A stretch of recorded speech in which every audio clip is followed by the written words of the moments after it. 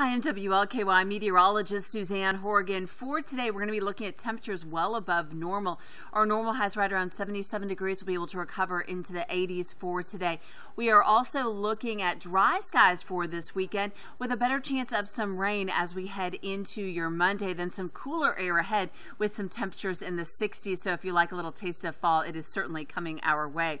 Here's a look at our forecast for today. We will hold on some cloud cover during the first part of the day today with gradual clearing as we head into your afternoon hours. For tonight, looking still fairly quiet. We will be able to stay rain free as we head into the overnight hours and into tomorrow, another day with quiet weather expected with some nice sunshine and temperatures warming into the 80s. So as we head into your Sunday night and Monday, we'll be on the lookout for some scattered rain showers to develop. We'll hold on to the risk of some rainfall throughout the day on Monday with temperatures being held down into the 70s. And then on Tuesday, we are looking at mainly dry skies, maybe a stray shower for some of our far eastern counties.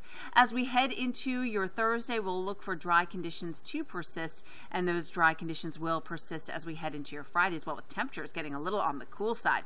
So let's talk about that forecast for today. Highs recover into the 80s with gradual clearing above normal temperatures. As we head into tonight, it looks like partly cloudy to mostly clear skies down to about 65 degrees. For tomorrow, highs recover into the middle 80s with a mixture of clouds clouds and sunshine.